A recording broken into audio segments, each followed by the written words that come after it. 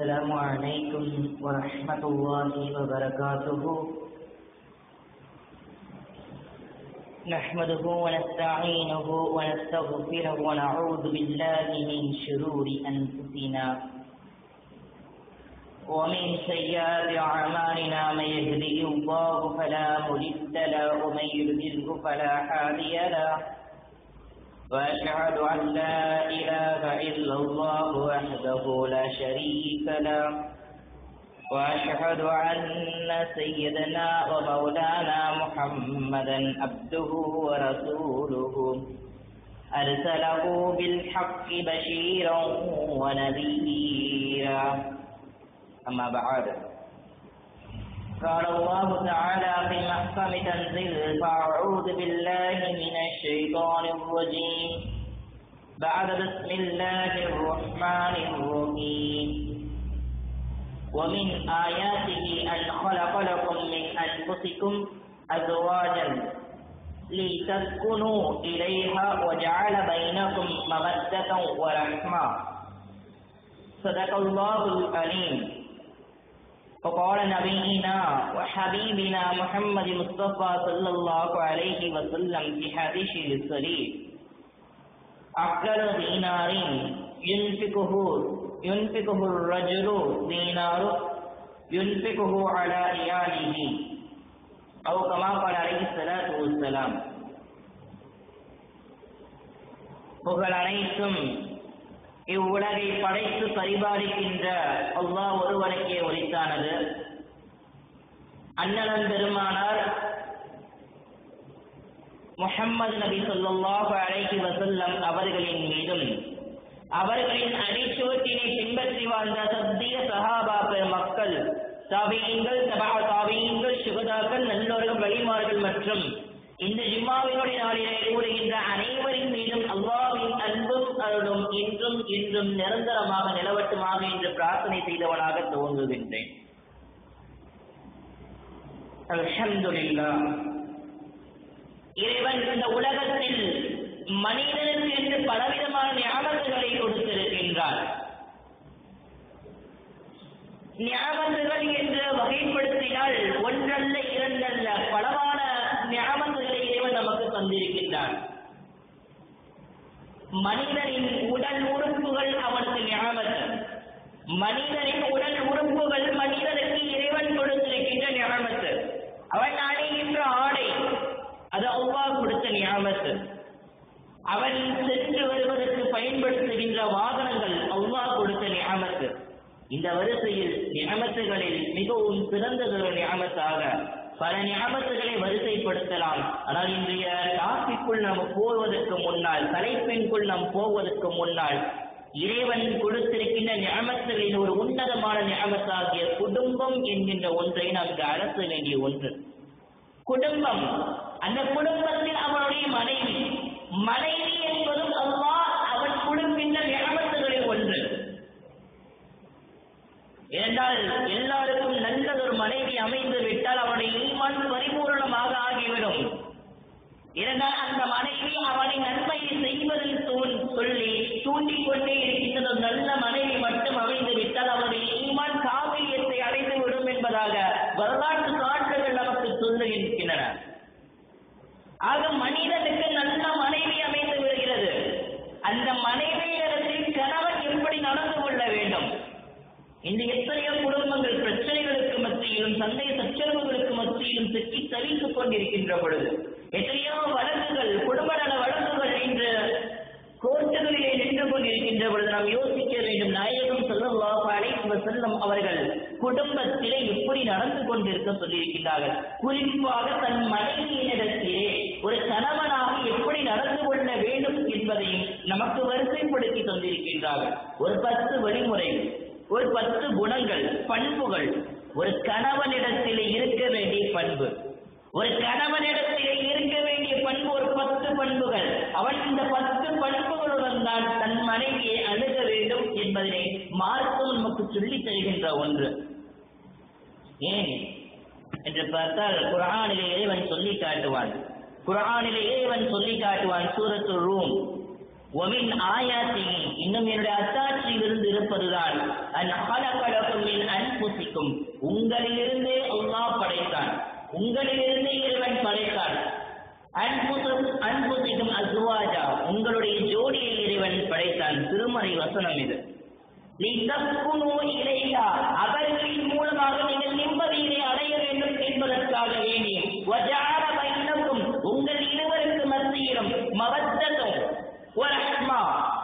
இறைவனின் அருள்படையும் செய்தால் அன்பும் அதிகரிக்க வேண்டும் என்பதற்காக வேண்டி இறைவன் உங்களில் உங்களிலிருந்தே உங்களுக்கான ஜோடியினை உங்களுக்கான மனைவியினை இறைவன் படைத்தான் என்பதாக இந்த திருமறை வசனத்தில் இறைவன் சொல்லி காட்டுகிறார். மனிதனுக்கான நிம்மதி என்று சொல்லப்படுகிற அந்த சகீனத்து எல்லா விஷயத்திலும் கிடைக்காது. குறிப்பிட்ட ஒரு சிலதில் மட்டும்தான் அந்த நிம்மதி கிடைக்கும். அந்த வரிசையில் இறைவன் குரானின் மூன்றை வரிசைப்படுத்துவார். அந்த மூன்றில் ஒன்றாவது தான் இந்த குடும்பம் தன் மனைவி மனைவியின் மூலமாக இறைவன் நிம்மதியை தருகின்றார் அந்த நிம்மதி இந்த உலகத்தில் கிடைக்காமல் செல்லுகிறது என்றால் நாம் மனைவியை எந்த விதத்தில் அணுகுகின்றோம்? நம்முடைய ஜோடிகளை நாம் எந்த விதத்தில் அணுகுகின்றோம்? இதுதானே நாம் யோசிக்க வேண்டிய ஒன்று. முதலாவதாக புன் சிரிப்புடன் தான் எப்பொழுதும் வீட்டினுள் நுழைய வேண்டும். இன்று நம் சமூகத்தில் எத்தனையோ நபர்களுக்கு இல்லாத ஒன்று. குடும்பத்தில் பிரச்சனைகளுக்கான முதல் காரணமே அதுதான்.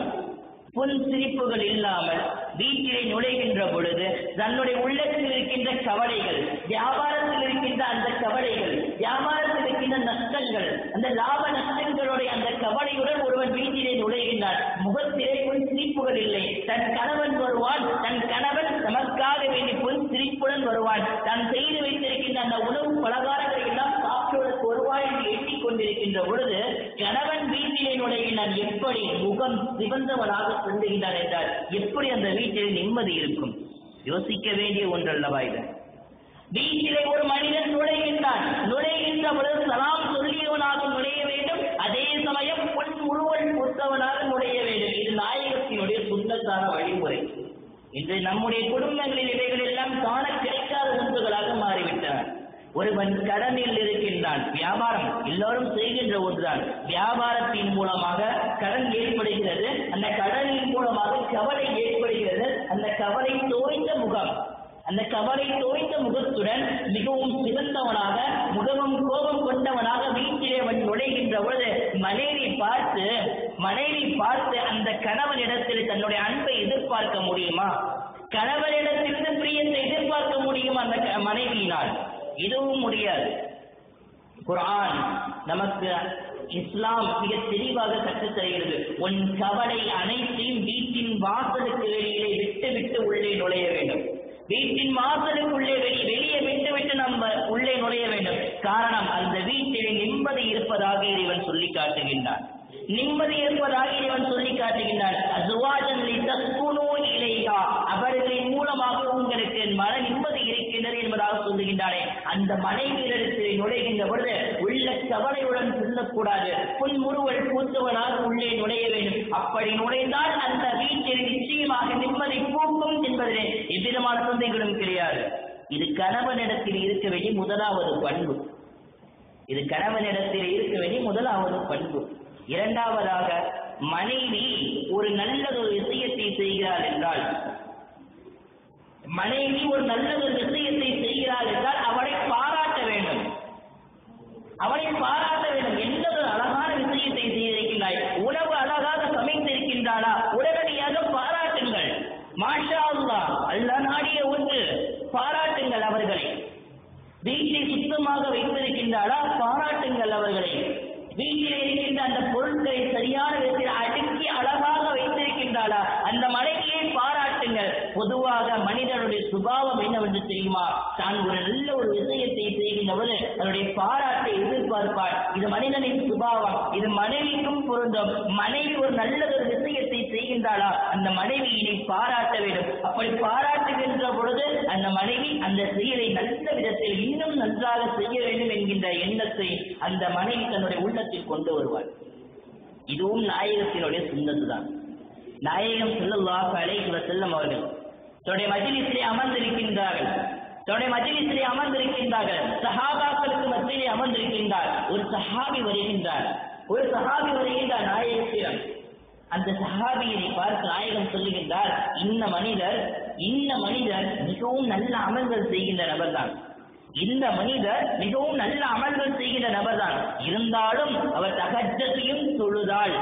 இருந்தாலும் அவர் தகஜத்தையும் தொழுதாள். இன்னும் நன்றாக இருக்கும் என்பதாக ஒரு வார்த்தை.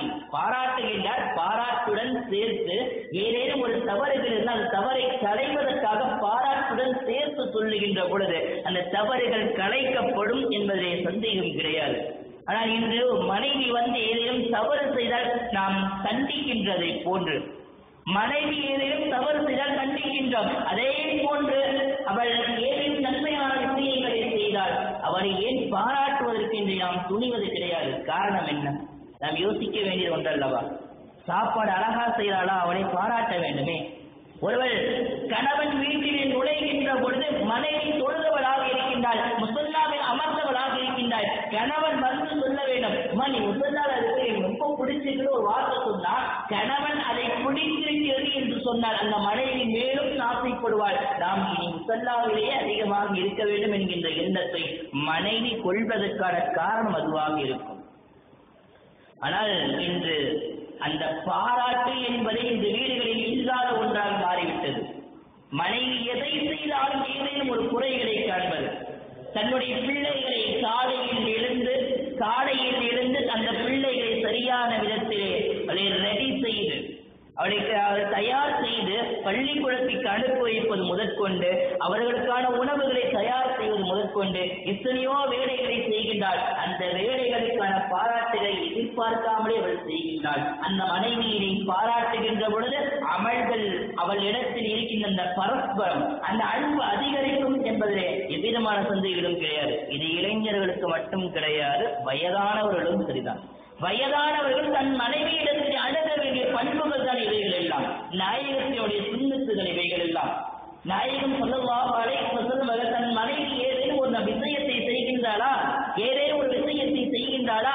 அந்த செய்கின்ற விஷயத்தினை நாயகம் சொல்லலாம் அழைக்கு சொல்லுவார்கள் பாராட்டி பேசுவார்கள். அண்ணன் பெருமானா சொல்லலாம் அழைக்கு சொல்லுவார்கள் மூன்றாவதாக தன் மனைவி இடத்திலே கணவன் இருக்க வேண்டிய பண்புகளில் மூணாவதாக மனைவியின் வேலைகளிலே அக்கறை காட்ட வேண்டும்.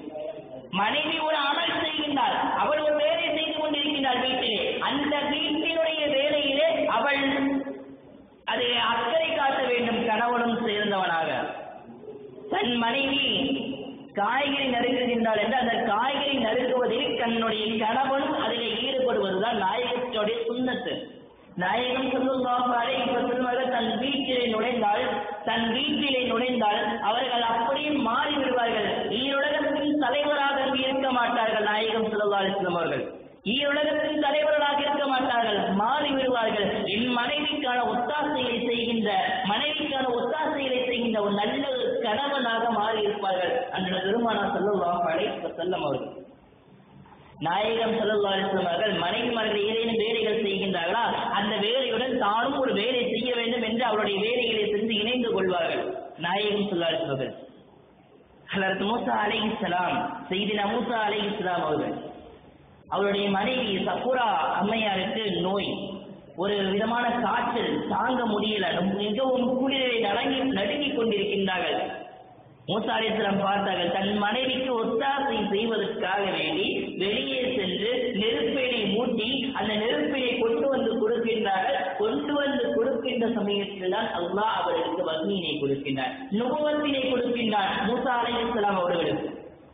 நாம் இங்கு கவனிக்க வேண்டியது என்னவென்றால் மூசா அலை இஸ்லாம் மிக பெரும் ஒரு நபி. நான் நபியாயிற்றேன். என் மனைவிக்கு நான் ஒத்தாசை செய்ய வேண்டுமா என்று தான் ஒதுக்கிக் கொள்ளவில்லை. மாறாக ஒத்தாசைகள் செய்து காட்டினார்கள். மிக பெரும் நபியாக இருந்தாலும் தன்னுடைய மனைவிக்கு அவர்கள் ஒத்தாசை செய்து காட்டியிருக்கின்றார்கள். இது நபிமார்களின் சுண்ணத்துகள். நமது நாயகம் சதவாக அழைக்கு வசந்தவர்கள் நமக்கு காண்பித்து தந்த வழிமுறையும் கூட.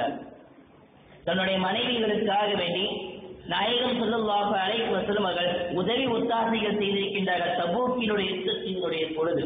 தபூக்கினுடைய யுத்தத்தின் பொழுது அது. போருக்கு எல்லாரும் கிளம்பி விட்டார்கள் நாயகம் சொல்லுவாக அழைக்கு வசலும் அவர்கள் வயிற்றிலே எதுவும் இல்லை. நாயகம் சொல்லுவாக வயிறு பசித்த நிலையிலே இருக்கின்றது. நேராக ஆயிஷா நாயகி அலியுல்லா தாலாகா அவரிடத்திலே வருகின்றார்கள். ஏ ஆயிஷா ஏ ஆயிஷா ரொம்ப பசிக்குது சாப்பிட என்ன மாதிரி இருக்குதா? நாயகம் சுல்லாசி கேட்கின்றார்கள். கேட்ட உடனே ஆயிஷா நாயகி அலியுல்லா தாலா அவர்கள் நாயகமே மாவு இருக்கின்றது. நான் அதனை குழப்பி உங்களுக்கு நான் ரொட்டி சுட்டு தருகின்றேன் என்பதாக சொல்லிவிட்டு ரொட்டி சுடுவதற்காக மாவினை எடுத்து வைக்கின்றார்கள். நாயகம் சொல்லலாம் அழைப்பு செல்லும் அவர்களும் அமர்கின்றார்கள். ஆயிஷா நீ சென்ற அடுப்பினை சரி செய். நான் மாவினை பிசைகின்றேன் என்பதாக நாயகம் சொல்லலாம் மாவு பிசைகின்றார்கள். நாம் யோசிக்க வேண்டும் நாயகம் சொல்லுவாக அழைக்கிற செல்லும் அவர்கள் தன் நேரத்தை எப்படி பங்கிட்டார்கள் என்று தெரியுமா? ஒரு பங்காக மூன்று பங்குகளாக பிரிப்பார்கள் நாயகம் சொல்லார்கள் முதல் பங்கு இவாதத்துக்காக வேண்டி பிரிப்பார்கள். இரண்டாவது பங்கு தன் உம்மத்திற்காக பிரித்தார்கள்.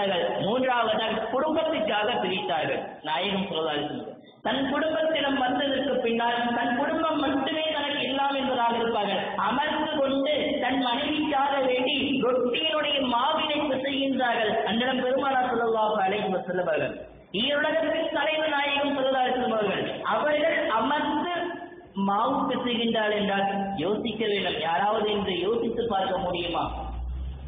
எந்த நபியினை படைக்கவில்லை என்றால் இந்த உலகத்தை நான் படைத்திருக்க மாட்டேன் என்று பேசுகின்றானோ?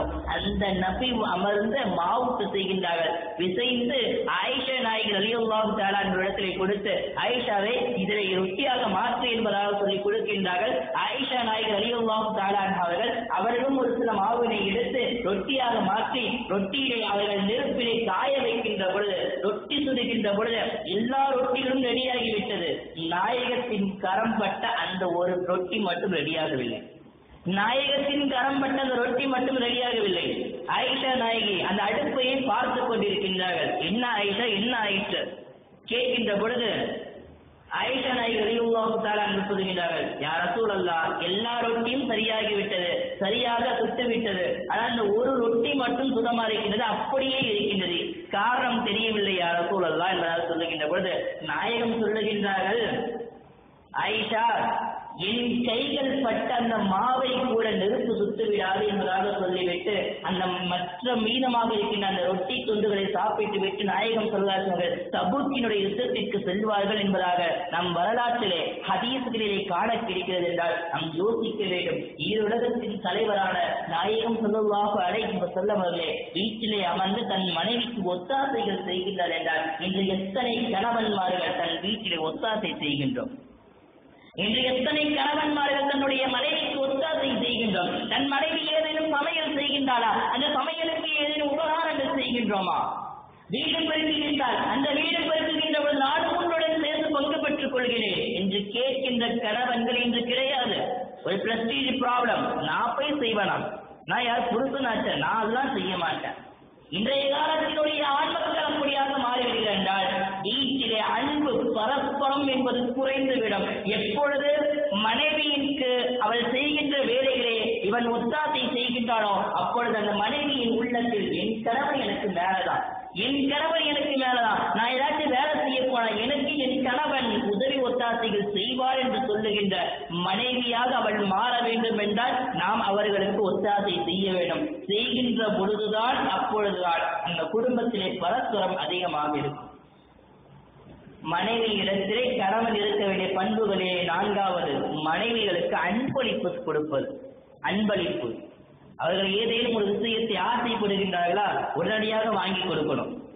உடனடியாக வாங்கி கொடுக்கணும். அவர்களுக்காக வேண்டி நாம் வாங்கி கொடுக்கின்ற ஒரு சின்னதொரு பொருள் சின்ன பொருள். அந்த சின்ன பொருளுடைய மதிப்பு என்னவென தெரியுமா? நாம் வாங்கி கொடுக்கின்ற காஞ்சி பட்டை காட்டிலும் பனாரஸ் பட்டை காட்டிலும் அது மனைவி இடத்தில் மிக சிறந்ததாக இருக்கும். நாம் நம்முடைய மனைவிக்கு வாங்கி கொடுக்கின்ற சின்ன ஒரு அன்பளிப்பு ஒரு கிஃப்ட் நீ எதை கிஃப்டாக வாங்கி கொடுத்தாலும் எதை அன்பளிப்பாக நீ கொடுத்தாலும் அந்த சின்ன ஒரு அன்பளிப்பு அந்த மனைவியின் உள்ளத்தில் பெரிதாக இருக்கும். அந்த மனைவியின் உள்ளத்தில் மிக பெரும் சொத்தாக இருக்கும். எதை விட தெரியுமா? நீ ஒன்பது சவரன்ல ஒரு நகையை வாங்கி கொடுத்தாலும் அந்த நகையை காட்டிலும் நீ வாங்கி கொடுக்கிற சின்னதொரு ஒரு அன்பளிப்பு மிகவும் சிறந்ததாக அவருடைய உள்ளத்தில் இருக்கும். நாயகம் செல்வாளி செல்வகம் சொல்லி காட்டுவார்கள். நாயகம் சொல்லாத சொல்லி காட்டுவார்கள் தஹாரு அன்பளிப்பு அதிகமாக செய்யுங்கள். தஹாப்பு என்பதாக சொல்வார்கள் அன்பளிப்பு அதிக அதிகமாக செய்கின்ற பொழுது உங்களின் அன்பு அதிகரிக்கும் என்பதாக அந்த பெருமானா சொல்லுவாக அலைஹி செல்லும் அவர்கள் நமக்கு சொல்லி தந்திருக்கின்றார்கள். இன்னொன்று தெரியுமா? அன்பளிப்புகள் அதிகமாக கொடுக்கின்ற பொழுது அந்த வீட்டிலே சண்டை அதிகமாக வராது. அன்பளிப்புகள் அதிகமாக கொடுக்கின்ற பொழுது அந்த வீட்டிலே சண்டைகள் அதிகமாக வராது. நாம் தெரிந்திருப்போம் வரலாற்று நிகழ்வு. லைலத்துல் கதிரினுடைய இரவு எந்த இரவு என்பதை அறிவிக்க வந்த நாயகம் சொல்லாட்டும் அவர்கள் அறிவிப்பதற்காக மன மகிழ்ச்சியுடன் ஓடோடி வருகின்றார்கள் பள்ளிவாசலை நோக்கி. வருகின்ற பொழுது இரண்டு சகாபாக்களுக்கு மத்தியில் விட சின்னதொரு வாக்குவாதம். சின்னதொரு வாக்குவாதம். அந்த வாக்குவாதத்தின் மூலமாக லைலத்துல் கதிர் எந்த இரவு என்று சொல்ல வந்த அந்த ரஹ்மத்தான இரவு எந்த இரவு என்று சொல்ல வந்த அந்த நாள் மறந்து விடுகிறது நாயகத்திற்கு. ஒரு ரஹ்மத்தின் மறைவதற்கு ஒரு வாக்குவாதம் காரணமாக இருக்கின்றது. ஆனால் இந்த வீட்டிலே பார்க்கலாம் கணவன் மனைவிக்கு மத்தியிலே சண்டை மாமனாருக்கும் மாமியாருக்கு மத்தியிலே சண்டை ஒரு மருமகளுக்கும் மாமியாருக்கு மத்தியில் இருக்கின்ற சண்டை இது போன்ற வாக்குவாதங்களின் மூலமாக வீட்டிற்கு வருகின்ற ரஹ்மத்தை சுமந்து வருகின்ற மலக்குகள் வருவார்களா? யோசிக்க வேண்டுமே. ரஹ்மத்தை சுமந்து கொண்டு மலக்குகள் வருகின்றார்கள். வருகின்ற வழியிலே வீட்டில பத கணவனுக்கும் மனைவிக்கு சண்டை எப்படி வருவார்கள்? அன்பளிப்புகள் அதிகமாக கொடுங்கள். உங்களின் சண்டைகள் குறையும் என்பதாக நமக்கு நாயகம் சொல்லுவாக அழைத்து சொல்லும் அவர்கள் நமக்கு கற்றுத் தருகின்றார் என்றால் நாம் யோசிக்க வேண்டும். நம்முடைய வாழ்விலே நம்முடைய மனைவிக்கு தான் அதிகமாக அன்பளிப்புகள் கொடுக்க வேண்டும். அன்பளிப்புகள் கொடுக்கின்ற பொழுது அவர்களுக்கு மத்தியில் இருக்கின்ற பரஸ்பரம் அந்த அன்பு அதிகரிக்கும் என்பதிலே எவ்விதமான சந்தைகளும் கிடையாது. ஐந்தாவதாக மனைவியின் மீது இருக்கின்ற பிரியத்தை நாம் வெளியப்படுத்த வேண்டும். தன் மனைவி மீது நாம் ஒவ்வொருவரும் பிரியப்படுவோம். அந்த பிரியத்தை வெளியப்படுத்த வேண்டும். உள்ளத்திலேயே வைத்துக் கொண்டிருப்பது கிடையாது பிரியம். உள்ளத்திலேயே நான் என் மனைவியை அதிகமாக நேசிக்கிறேன். வெறும்படியாக வாய் வார்த்தைகளில் சொல்வது கிடையாது. அந்த வார்த்தையை வெளியே எடுத்து காட்ட வேண்டும். தன் உள்ளத்தில் இருக்கின்ற அந்த காதலினை வெளியெடுத்து காட்ட வேண்டும். அப்படி காட்டுகின்ற பொழுது தன் மனைவியும் தன் மீது வைத்திருக்கின்ற அந்த பிரியத்தை வெளிப்படுத்தி காட்டுவார். எல்லாவற்றிற்கும் நாயகத்தின் வாழ்விலிருந்து நமக்கு ஒரு முன்னுதாரணம். நாயகம் சொல்லலாக அழைக்க செல்பவர்கள் தன் மனைவியில் ஒருவர் ஐஷா நாயகி அலியுல்லாஹு தராக அழகான ஒரு பேர் வைப்பாங்க ஹுமைரா சொல்லி. ஐஷா நாயகி சின்ன பொண்ணு. ஹுமைரா சொல்லி அழைப்பார்கள். ஹுமைரா என்றால் செக்க சிவந்து சின்ன பொண்ணு அர்த்தம். தன்னுடைய மனைவியை அழைக்கின்ற வார்த்தை அது. ஹுமைரா சொல்லி கூப்பிட்டார் செக்க சிவந்து சின்ன பொண்ணே சொல்லி அழைப்பார்கள். அழைக்கின்ற போது அப்பைக்கு அரசுள்ளா அல்லா ஆயிஷா கேட்பார்கள். யார சொல்ல என்ன யார சொல்லா? சொல்லி கேட்பாங்க கேட்கின்ற பொழுது அவர்கள் தண்ணீர் அறிந்து கொண்டிருப்பார்கள். ஐஷா நாயகி ரலியுல்லாஹு தாளான் அவர்கள். தண்ணீர் அறிந்து கொண்டிருப்பார்கள். ஐஷாவே ஐஷாவே நீ அருந்து விட்டு அந்த தண்ணீரை நீரை எனக்கும் தா என்பதாக கேட்பார்கள். நாயகம் செல்வாழ்த்தினர் நாயகம் தன் மனைவியின் மீது வைத்திருக்கின்ற அன்பினை எப்படி வெளிப்படுத்துகின்றார்கள் என்பதற்கான உதாரணம் இது. இந்த தருகின்றேன் யாராக்குள்ளா என்று சொல்லி அவர்கள் குடித்து விட்டு மீதியை நாயகத்திடம் கொடுக்கின்றார்கள். கொடுத்தவுடன் கேட்கின்றார்கள் உமைராவே நீ இதுல எந்த இடத்துல வாய் வச்சு குடிச்சுன்னு சொல்ல முடியுமான்னு கேட்கிறாங்க. நாயகம் சொல்லாதும் அப்படி அவர் கேட்ட உடனே ஆயிஷா நாயகம் சொல்லுவார்கள் யார சொல்லா இந்த இடத்துல வாய் வச்சு குடிச்சேன் என்றால் சொல்லுவார்கள். சொன்ன உடனே ஆயிஷா நாயகி ஆயிஷா நாயகி எந்த இடத்தில் கை வைத்திருந்தார்களோ அந்த இடத்தில் நாயகமும் தன் கையை வைக்கின்றார்கள். எந்த இடத்தில் தன் உதடுகளை வைத்தவர்கள் குடித்தார்களோ அதே இடத்தில் நாயகமும் தண்ணீர் அருந்துகின்றார்கள் என்றால் நாம் யோசிக்க வேண்டும் ஆயிஷா அலியுல்லாம் தாலா என்று பார்க்க வேண்டும். நாயகம் தன் மனைவியிடம் வைத்திருந்த பிரியம் எப்படி நாயகம் சொல்லமாக அழைப்பு சொல்லுவார்கள் தன் மனைவியின் மீது இருக்கின்ற பிரியத்தை தன் மனைவிக்கு எப்படி எடுத்து காட்டுகின்றார்கள்? ஆயிஷாவை தன்னுடைய அதே நேசிக்கின்றேன் என்பதாக நாயகம் சொல்லுவாக அழைப்பு சொல்லுகின்றார் என்றால் நாம் இன்று எத்தனை நபர்கள் நாம் நம்முடைய மனைவிகளுக்கு மத்தியில் அந்த பிரியத்தை சரியான விதத்தில் வெளிக்காட்ட வேண்டும். வீட்டுக்குள்ள வந்தாலே முகத்தை சிறு சிறுந்து வச்சுக்கிட்டு அந்த மனைவி இடத்தில் செல்லுகின்ற பொழுது மனைவி எங்கு சந்தோஷம் அடைவாள்? மனைவி எங்கு சந்தோஷம் அடைவாள்? என் கணவன் இன்று வந்து கணவன் வீட்டிலே இல்லை என்றால் தன் தகப்பன் வீட்டிலே இல்லை இல்லை என்றால் பிள்ளைகள் எல்லாம் சந்தோஷமாக விளையாடி கொண்டிருப்பார்கள். எப்பொழுது அப்பா வீட்டுள்ளுக்கு நுழைகிறாரோ கணவன் வீட்டுள்ளுக்கு நுழைகிறாரோ அத்தனை பிள்ளைகளும் அமைதியாக மாறிவிடுவார்கள். இந்த நிலை எப்படி வந்தது. கணவன் சிறு சிறு மூன்றுடன் இருக்கின்றான் என்பதாகத்தான அர்த்தம். கணவன் வந்தால் அந்த குடும்பம் சந்தோஷத்தில் மகிழ வேண்டும். அப்படி மகிழ்கின்ற பொழுதுதான் அந்த குடும்பம் மிகச்சிறந்த குடும்பமாக இருக்கும் என்பதிலே எவ்விதமான சந்தைகளும் கிடையாது. மனம் லயிக்கின்ற வார்த்தைகளை பேச வேண்டும் மனைவி இடத்தில். மனம் லயிக்கின்ற வார்த்தைகளை மனைவி இடத்திலே பிரயோஜனப்படுத்த வேண்டும். அப்படி பிரயோஜனப்படுத்துகின்ற பொழுது அவளும் மிகவும் மனம் மகிழ்ந்து நல்லதொரு வார்த்தையை பிரயோஜனப்படுத்துவாள். ஏனென்றால் பொதுவாகவே நகைச்சுவை என்பது மனதினுடைய மனிதனின் சுபாவத்தில் கடந்துவிட்ட ஒன்று. சற்று மகிழ்வுடன் இருக்க வேண்டும் என்று எல்லா மனிதர்களும் யோசிக்கின்ற விரும்புகின்ற ஒன்றுதான். அதே போன்றுதான் நாயகம் செல்வார்கள் அவர்கள் தன் மனைவியிடத்தில் எப்படி நடந்து கொண்டார் என்று பார்க்கின்ற பொழுது ஒருமுறை நாயகம் செல்வார்கள் மகள் ஆயிஷா நாயகிடத்தில் ஒரு வார்த்தை சொல்வார்கள் ஆயிஷாவே தேனும் பேரிச்சம்பழத்தையும் கலந்து சாப்பிட்டால் எந்த அளவிற்கு விருப்பமாக இருக்குமோ? சாப்பிடுவது பொதுவாக எல்லாருக்கும் பிடித்தமான ஒன்று. பேரிச்சம்பழத்தையும் தேனையும் ஒன்றாக சேர்த்து வைத்து சாப்பிடுவது எல்லாருக்கும் விருப்பமான ஒன்று. எப்படி இது விருப்பமான ஒன்றோ அதே போல நீ எனக்கு விருப்பமானவள் என்பதாக சொல்லுவார்கள். நாயகம் சொல்லுவார்கள் அவர்கள் சொல்லி வந்த அந்த வார்த்தையினுடைய தத்துவத்தை பார்க்க வேண்டும். மனம் லயிக்கின்ற விதத்திலே நாயகம் சொல்லுவார்கள் இந்த வார்த்தையை சொல்லுவார்கள்.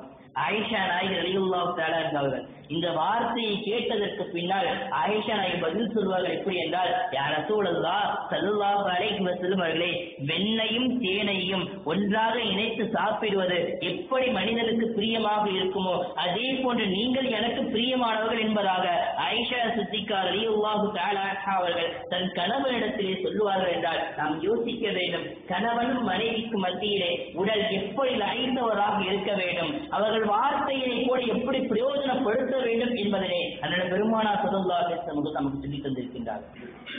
ஒருமுறை போரிலிருந்து திரும்பி வருகின்றார்கள். ஒரு பிரயாணத்திலிருந்து திரும்பி வருகின்றார்கள் நாயகம் சொல்வாசம் அவர்கள். வருகின்ற வழியிலே ஆயிஷாவிடம் கேட்கின்றார்கள் ஆயிஷாவை ஓட்டப்பந்தயம் வைக்கலாமா? ஒரு ஈரலகத்தின் தலைவர் வைக்கின்ற பேசியது ஆயிஷாவை ஆயிஷா ரலியல்லாஹு சிறிய வயது பெண்மணி அந்த சிறிய